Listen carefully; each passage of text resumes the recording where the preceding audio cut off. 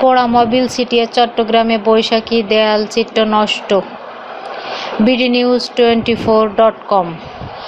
বর্ষবরণের প্রস্তুতির মধ্যে চট্টগ্রাম বিশ্ববিদ্যালয় ইনস্টিটিউটের শিক্ষার্থীদের আঁকা দেয়াল চিত্র নষ্ট করা হয়েছে পোড়ামোবিল ছিটিয়ে চকবাজার থানার ওসি নুরুল হুদা জানান, মঙ্গলবার রাত বা একটার পর বন্দরনগরীর চটেশ্বরী রোডের চারুকলার সামনে এ ঘটনা ঘটে। শিক্ষার্থীরা জানান, পহেলা বৈশাখ সামনে রেখে রাত সাড়ে বারোটা পর্যন্ত। চারুকলার মূল গেটের বিপরীতের পাশের দেয়ালে আঁকার কাজ করেন তারা। এটা ভেতরে চলছিল মঙ্গল শোভাযাত্রার প্রস্তুতি।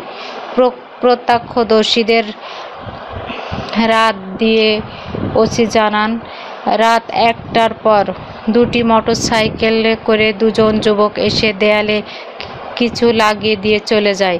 দেখে মনে হচ্ছে পোড়ামবিল লেপটে দিয়ে দেয়াল চিত্র নষ্ট করতে চেয়েছে তারা। তবে কারা এ ঘটনা ঘটিয়েছে এ বিষয়ে কোনো ধারণা দিতে পারেনি পুলিশ।